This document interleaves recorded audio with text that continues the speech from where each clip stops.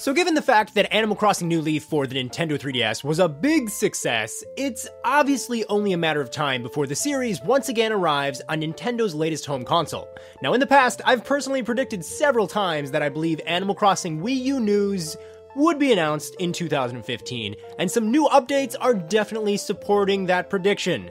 One of the directors for Animal Crossing New Leaf recently posted an update on the Animal Crossing Plaza Miiverse page. Uh, in it, she discusses that the plaza will soon be disabling some features, as was already planned, but more importantly, she ends by saying this.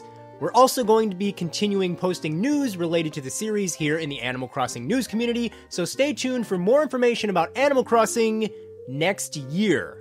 This could mean a few things, obviously, but I think the logical reasoning here is that Animal Crossing will be announced for the Wii U at E3 2015. Given the fact that we have so many big titles coming in 2015 for the Wii U, I think Animal Crossing might launch in early 2016, but I really do think that we will see that game revealed next year at E3.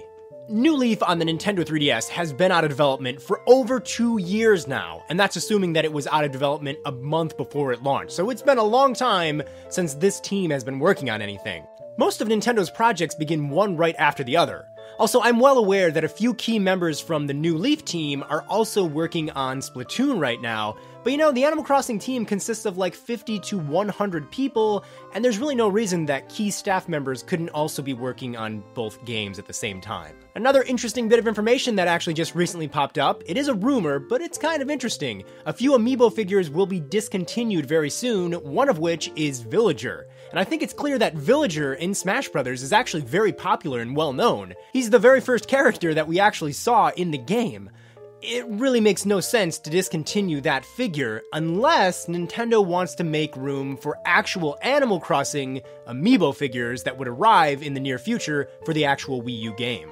It's clear Nintendo wants to continue building up momentum for the Wii U with its sales. Animal Crossing has quickly become one of Nintendo's most popular franchises, with very impressive sales and actually a really passionate audience. There's no doubt in my mind Nintendo wants the series on the Wii U and as soon as possible. And you know, taking the whole mayor concept from the Nintendo 3DS game and greatly expanding upon it, that in and of itself would make the Wii U game worth picking up for me, not to mention the fact that it could have way better online and way prettier visuals. So let me hear it, guys. Are you ready to see what the Wii U gamepad could offer the Animal Crossing series? Are you hyped to collect tons of really adorable, amazing Animal Crossing amiibo? Sound off in the comments section below.